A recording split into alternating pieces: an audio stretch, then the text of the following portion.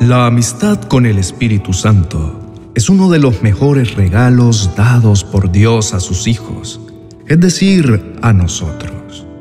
Él siempre ha ofrecido su amistad desde el principio de los tiempos a la humanidad.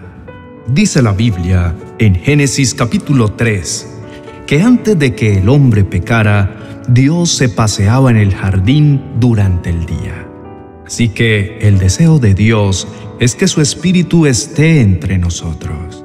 El gran problema de la humanidad, y nos incluimos en ese grupo, es que no hemos correspondido a la amistad que Él siempre nos ha ofrecido.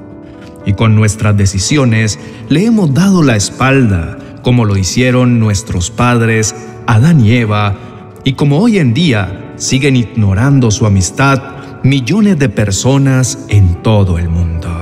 Quisiera que escribieras en la cajita de comentarios qué es lo que más te gusta recibir de tus amigos. ¿Te gusta que sean sinceros? ¿Te gusta que sean alegres, que sean leales? Escribe esas cualidades que buscas en un amigo o en una relación de amistad. Cada vez que pensamos en el Espíritu Santo, automáticamente respondemos que es la tercera persona de la Trinidad.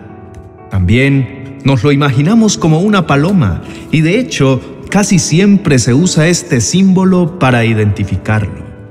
Pues como todos sabemos, cuando Juan bautizó a Jesús en el río Jordán, el cielo se abrió y dice la palabra que el Espíritu Santo descendió en forma corporal como paloma mientras la voz del Padre decía, Tú eres mi Hijo amado, en ti tengo complacencia.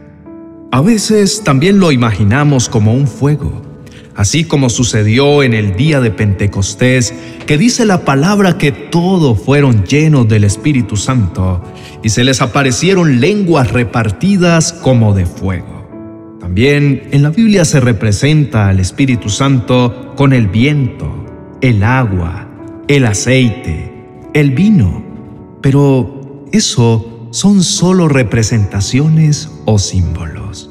Pero querido hermano y amigo, la gran revelación y verdad es que el Espíritu Santo no es una fuerza, no es algo, es alguien, es una persona, es Dios. No es la tercera persona como muchos dicen, pues los tres Dios Padre, Dios Hijo y Dios Espíritu Santo son uno solo. Dios ofrece su amistad a todos, pero solo se las otorga a quienes le buscan. Él busca un corazón dispuesto, una vida que quiera más que un compromiso de domingo. Dice el Salmo capítulo 25, verso 14, la comunión íntima de Dios es con los que le temen y a ellos hará conocer su pacto. Ese nivel de amistad profunda es lo que el Espíritu Santo está buscando.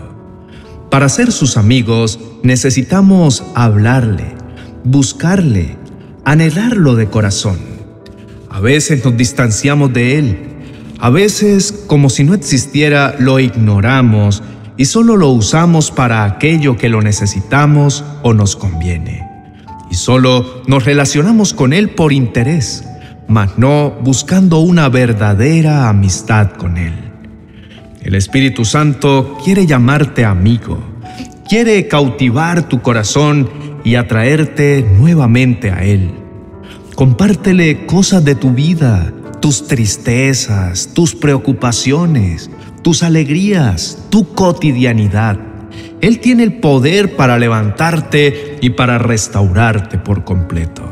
Atiende a su voz y lo convertirás en tu acompañante celestial. La presencia del Espíritu Santo vendrá cada vez que te decidas a buscarlo y te enseñará cosas grandes y ocultas que tú no conoces, como dice Jeremías 33:3. Cuando hagas del Espíritu Santo tu mejor amigo, nunca más volverás a sentirte solo. Hemos sido creados para tener intimidad con Dios y con su Espíritu Santo. Es por eso que somos seres trinos, cuerpo, alma, y Dios colocó su Espíritu dentro de nosotros. Él dijo, quiero dejar en ti una parte de mí para que se comunique conmigo en todo momento. La comunión íntima con el Espíritu Santo es una relación personal que surge a partir de conocerse profundamente, de caminar juntos. En la intimidad podemos confiar que Él está con nosotros, que nunca nos dejará ni nos abandonará. El único requisito para que tengas intimidad con el Espíritu Santo es que seas tú mismo, que seas auténtico si queremos llevar nuestra relación de intimidad a otro nivel con Él, no podemos fingir ni pretender ser algo que en realidad no somos, porque cuando la presencia de Dios nos rodea, nos envuelve y nos llena, es allí donde descubrimos verdaderamente quiénes somos. Él quiere ser tu primer amor y que tú seas como esa pareja que está dispuesto a pagar el precio para tener intimidad y compartir tiempo cada día con Él. El precio que pagó Jesús para acercarse a la humanidad fue entregar su propia vida por ti y por mí. Es por eso que nuestro amado Espíritu Santo espera total pasión, devoción y entrega nuestra hacia Él. Sé que no todos pueden llamarle amigo cuando no le hablan, cuando piensan que es en sus propias fuerzas, que si obtienes algo en la vida es por tu esfuerzo o por intelecto. Pero te digo, nada tendrá éxito ni será provechoso en esta vida si no va guiado por una amistad profunda con el Espíritu Santo. Necesitamos su guía, su consuelo, su ayuda, su consejo, su fortaleza. Si tenemos encuentros diarios con el Espíritu Santo, nuestra vida sufrirá una metamorfosis diaria, porque Él comenzará a hacer cambios poderosos en nuestro ser y muy pronto todos los que nos vean sabrán que estamos caminando con Él, pues ya no somos los mismos de antes. Vamos a orar y pidámosle al Espíritu Santo su amistad. Anhelemos con más fervor su presencia y Él vendrá y corresponderá a ese deseo, porque Él también anhela nuestra amistad. Oremos. Amado Padre Celestial, te doy gracias por permitirnos escuchar tu buena palabra, porque a través de ella tú te revelas a nuestras vidas el deseo de tu corazón siempre ha sido tener comunión, amistad e intimidad con todos los seres humanos.